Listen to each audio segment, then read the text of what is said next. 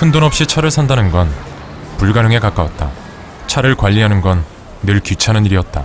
달리는 시간보다 세워두는 시간이 많은 건 당연했다. 그래왔다. 지금까지는. 이제 제로카로부터 이 모든 부담이 제로. 자동차는 부담 없이 가질 수 있어야 하니까. sharing 실적에 따라 월 대여료까지 제로.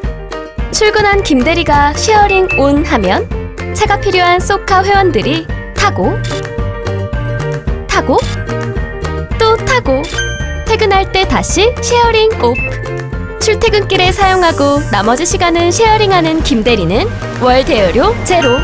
이용 패턴에 따른 예상 월 대여료는 홈페이지에서 때 맞춰 정비까지 무료로 세차까지 쏘카 쿠폰으로 다양한 차종 이용까지 지금 당장 제로하라 영 원으로 차를 갖는 방법. 제로카 sharing 쏘카. 제로카가 처음이라면 skip 금지. sharing을 시작하려면 제로카 앱 켜고 sharing 시간 설정하고 sharing 시작하기 누르면 끝. sharing하고 얼마나 할인됐는지 궁금하다면 sharing 현황에서 수익 공유 내역, 운행, 예약건까지 확인 가능. 이번 달 이용료를 알아보려면 더보기, 요금 내역에서 월 대여료, 주유 요금, 하이패스 요금, sharing 수익 공유 할인 내역까지 확인 가능.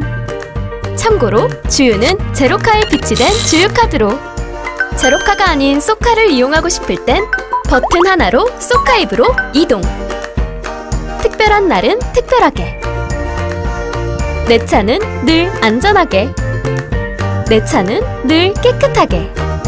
나를 위해, 소카 회원들을 위해. 주차장 등록은 쾌적한 곳으로. 타고 나누고 돌려받는 차를 갖는 새로운 방법.